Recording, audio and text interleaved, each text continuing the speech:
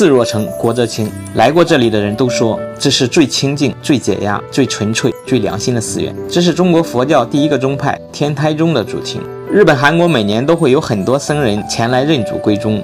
始建于公元五百九十八年的国清寺，经历了一个又一个春夏秋冬，寺里的僧人们一如一千四百二十四年前一样，种田念经，与世无争。身为五 A 景区，天台精华，国清寺却不收门票，两元钱的斋饭可以吃得很好。寺内香火旺盛，人多拥挤，却不嘈杂不吵闹。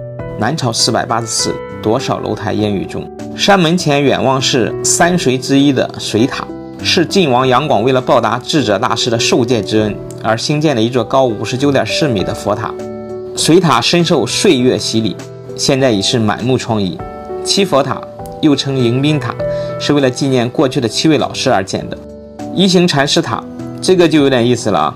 因为一行禅师是密宗的一位祖师，天台宗寺院为何为他建塔在此？国清寺跟一行禅师有什么因缘呢？一行禅师是唐朝高僧，同时也是一位天文学家，年轻时因知识渊博闻名于长安。一代女皇武则天的侄子武三思，就盯上他了，想把他纳入麾下。一行本人呢不喜欢官场的尔虞我诈，更喜欢寄情于山水的修行生活。为了避开武三思的纠缠，便剃度出了家。虽然成为了僧人啊，一行禅师依然没有放弃对天文学的研究，而且取得了巨大的成就。他改进了张衡的设计，制作了水运浑天仪。这是个啥东西呢？就是靠水力运转、模仿天体运行的仪器。还有个强大的功能，就是可以测定时间，了不起啊！高科技。一行禅师另一项成就就是编制了大眼历，对中国古代历法做了升级。一行禅师在编撰大眼历时，遇到一个计算上的难题。他听说国清寺有位高僧精通算术，便长途跋涉到国清寺拜师学艺。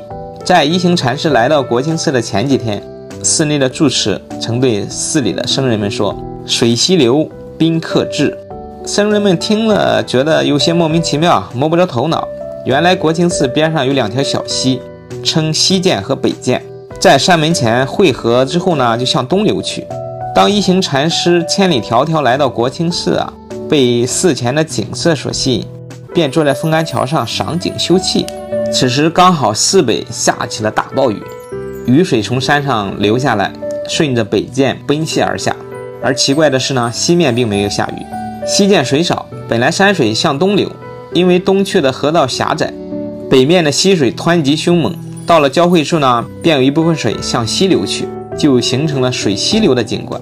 一行到此水西流，也就应了国清寺住持的预言，后来也就成了虚心求教的美谈。